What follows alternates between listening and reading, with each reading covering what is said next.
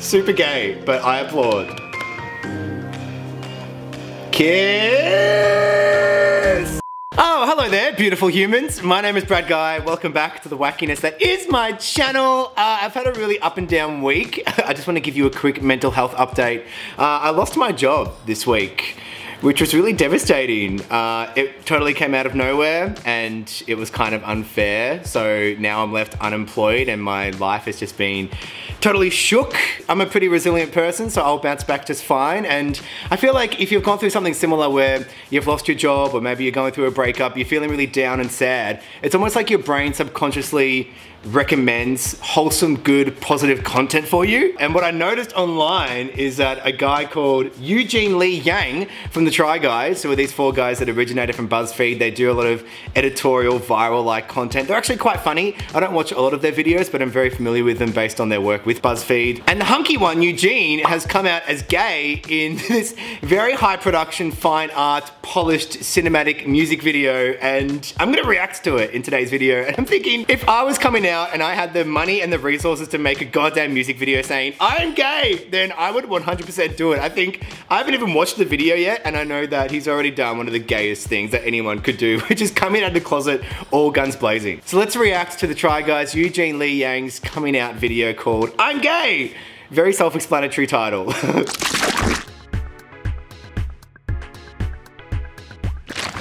and play. Actually, I'm gonna wear headphones. Hold on. He's a really stunning, beautiful person, like aesthetically chiseled perfectly. Oh, this is all quite serious.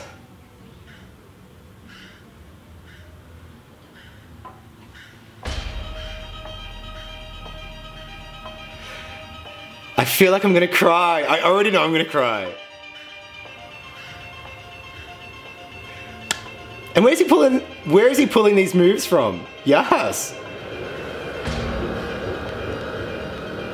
Yep, fierce, love it, yeah.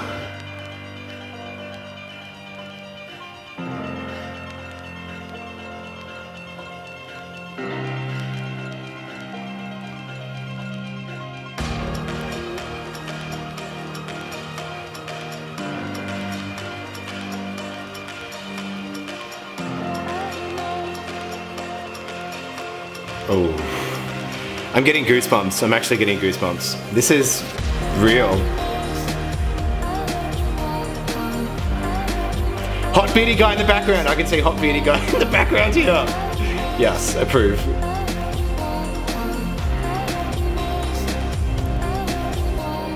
Oh my god! Yes! Oh, he gets to touch the hot guy.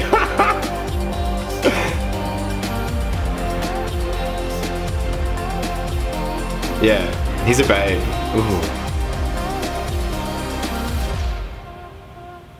He's such a fierce dancer and I did not see that coming at all. Oh, great pants. Love the color.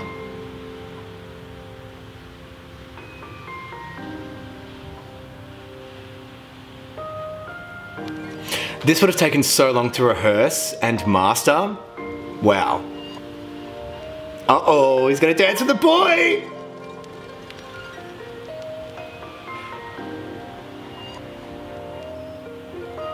Oh.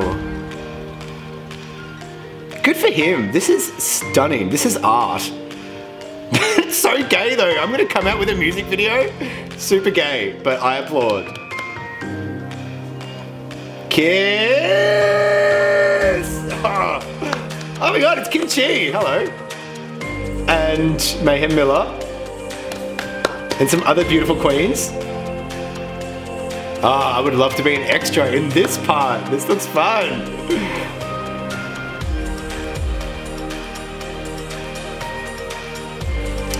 Ah, I'm getting shivers.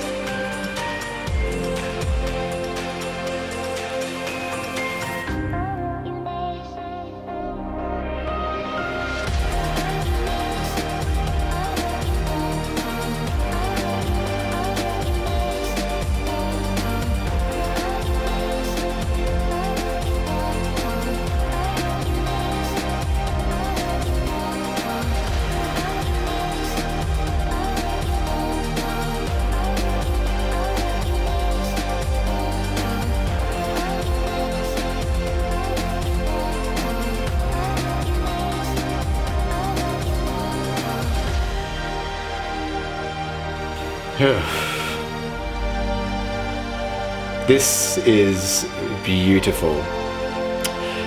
I feel like that gun scene was a reference to the Pulse nightclub shooting, I'm not sure. In which case, interesting inclusion. I'm sure that would be very triggering for some people. It's triggering for me even to see that sort of imagery. Fui.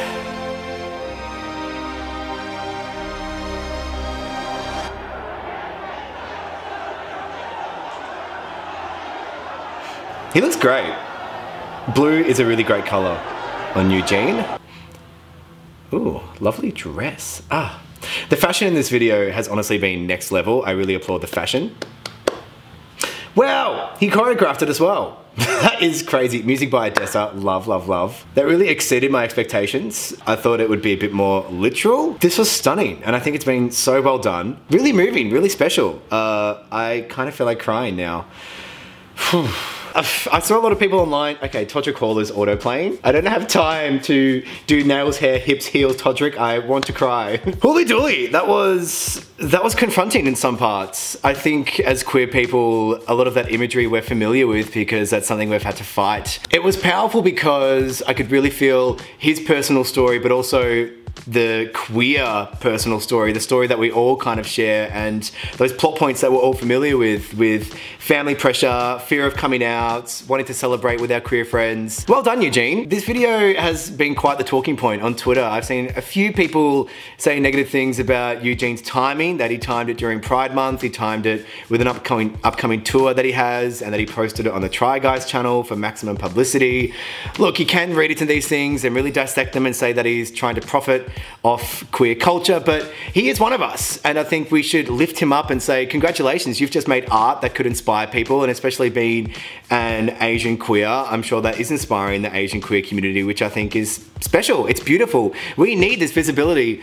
We don't really see the impact of our visibility all the time. the, it's funny, it's ironic. The work of our visibility is often invisible. We don't know what impact this will have on the millions of queer kids growing up on the internet that are watching videos like this, this might inspire them to fully express themselves and it could change lives. That's why it's special. So you could poo-poo it all you like and say that it's someone profiting off Pride Month and profiting off queers, but the main fact of the matter is that this is someone who's saying, I am visible, I'm going against family pressure, I'm going against career pressure, I wanna be myself and I wanna change the world. So Eugene Lee Yang, to you, my friend. Mwah. But if you are in the process of coming out, know that if it's not safe for you now, you don't have to. There is no pressure to come out. Make sure you are safe, that you might have the family support, the community support, you're in a town that is open to queers.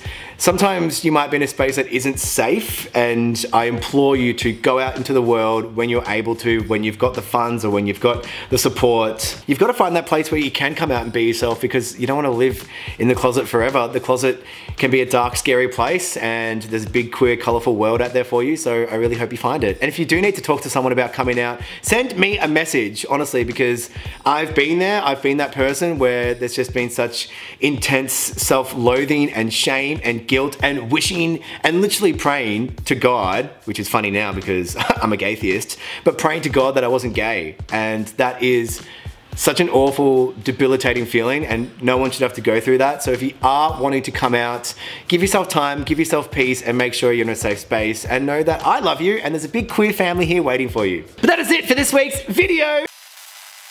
Thank you so much for watching. I really appreciate you guys wanting to watch me watch something and get a little bit teary. If you want to be notified of every time I upload, hit the bell icon. But that's it for another video, a cheeky Brad Guy bonus video on a Sunday. Have an excellent day, an excellent life. Peace and love to you. Mwah! Yes, I love you. Happy Pride.